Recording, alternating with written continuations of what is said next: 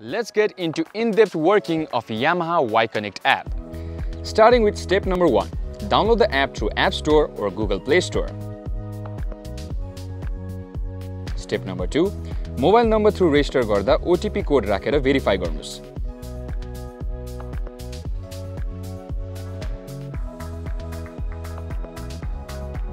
त्यसपछि country date of birth password set गर्नु जस्ता अरू इन्फर्मेसन हालेपछि फुल्ली रेजिस्टर हुन्छ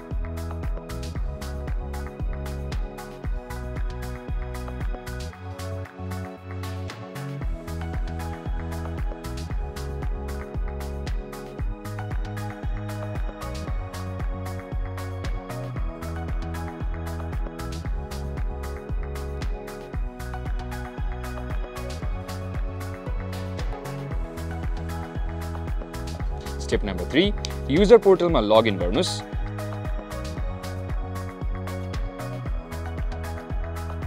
Step number four vehicle add गर्न आइदर सिट खोलेर त्यसमा भएको क्युआर कोड स्क्यान गर्ने ओर च्यासिस नम्बर राख्ने।